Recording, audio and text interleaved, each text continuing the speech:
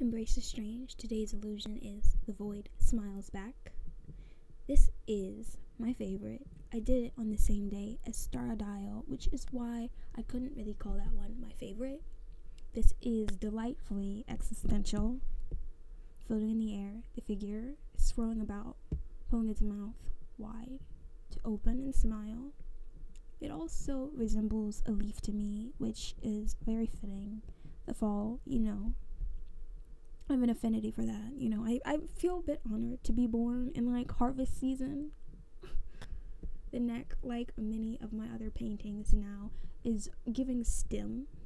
The body is carefree and giddy about the dread, sarcastically perhaps, but sometimes sincerely.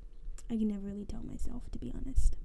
The purple orbs are a nice, fantastical sort of touch, a nice contrast to the dread of it. Uh, what are your thoughts, if any? Do share, I'm always curious, and if you take anything away from this video, it is art, truly art, and art goes on, so I will in my next video. Thank you for watching.